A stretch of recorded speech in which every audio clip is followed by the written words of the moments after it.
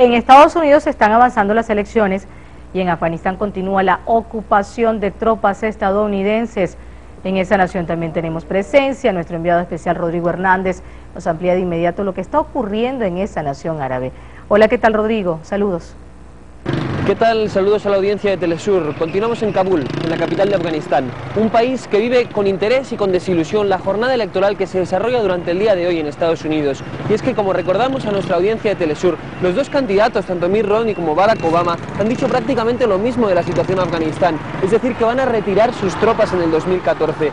Esto llena de dudas a la mayor parte de los afganos, para empezar porque la mayor parte de sus instituciones siguen realmente desestructuradas y por otro lado porque hay muchas críticas en torno a cómo se ha llevado este proceso, esta guerra contra los talibanes. Son muchos los analistas que han criticado la falta de un proceso de paz en un país que ya lleva décadas en guerra y más de 10 años de intervención estadounidense.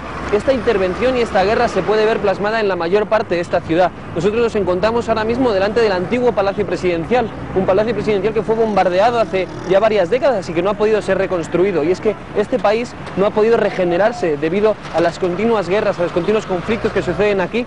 Por eso no hay mucha confianza en que cualquiera de los dos candidatos de Estados Unidos pueda cambiar esta dinámica, ya que ninguno de los dos ha buscado un proceso de paz, un proceso de diálogo con ninguna de las partes. Nosotros estaremos aquí informándoles de cuáles son las reacciones en torno a esta jornada electoral americana en Afganistán y también cómo se va desarrollando el día a día en Kabul. Saludos desde Afganistán.